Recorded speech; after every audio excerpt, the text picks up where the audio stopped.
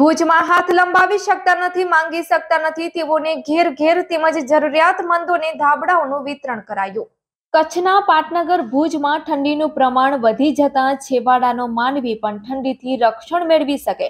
તે માટે ઠેર ઠેર ધાબળાનું વિતરણ કરવામાં આવ્યું હતું.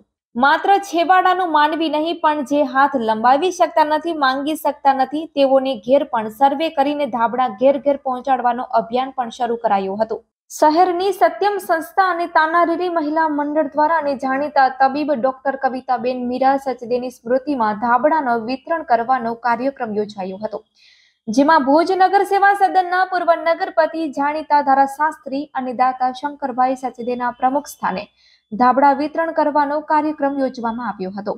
આરંભે સત્યમ સંસ્થાના અધ્યક્ષ દર્શકભાઈ અંતાણીએ પ્રાસંગિક પરિચય આપ્યો હતો અને ત્યારબાદ આ ધાબળાનું વિતરણ કરવામાં આવ્યું હતું.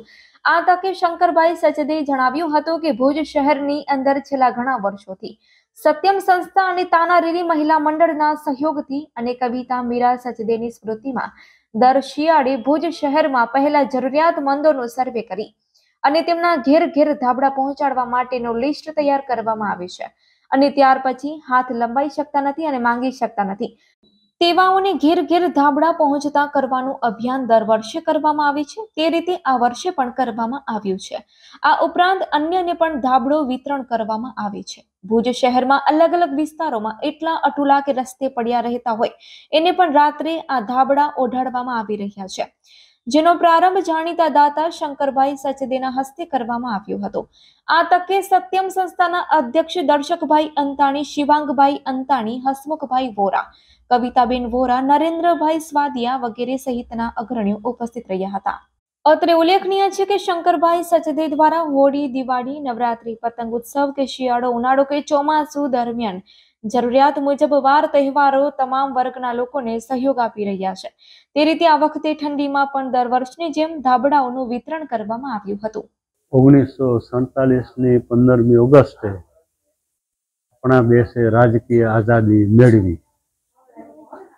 રાજકીય આઝાદી મેળવ્યા બાદ આપણે આપણો રાષ્ટ્રીય પુરુષાર્થ, આર્થિક આબાદી મેળવવા ભણી વાળ્યો. આઝાદી પછી હમણાં સુધી આ દેશે જુદા જુદા ક્ષેત્રોમાં સારી એવી પ્રગતિ કરી છે. છતાં એક વાસ્તવિક હકીકત એવી છે કે ગરીબીને કારણે, મોંઘવારીને કારણે, બેકારીને કારણે આજે પણ આપણા સમાજમાં ઘણા લોકો, જેને આપણે છેવાડાના લોકો કહી શકીએ, એવા છે. જેમને અર્થકારણની ભાષામાં બિલો પોવર્ટી લાઈન નીચે રહેતા હોય એવા લોકો ઘણા છે. એમાંથી કેટલાક લોકો એવા હોય છે કે જે માગવામાં શરમ શરમ અનુભવે. તો એવા લોકોને ઓળખી અને એમને ઘેર ઘેર ધાબળા પહોંચતા કરવા એ મારી દ્રષ્ટિએ સામાજિક ફરજ છે. તો એ રીતે સૌથી પ્રથમ એવા લોકોને આઈડેન્ટિફાય કરી અને ધાબળા વેચની વહેંચણી કરવામાં આવી. અને આજે અંતિમ તબક્કામાં સમાજના આ વિસ્તારના છેવાડાના લોકો એમને ડૉક્ટર કવિતા મીરા સચદેની સ્મૃતિમાં મારા પરિવાર તરફથી અને સત્યમ અને તાનારીના ઉપક્રમે ભાઈ શ્રી દર્શકભાઈના માર્ગદર્શન હેઠળ આ કાર્યક્રમનું આયોજન કરવામાં આવ્યું.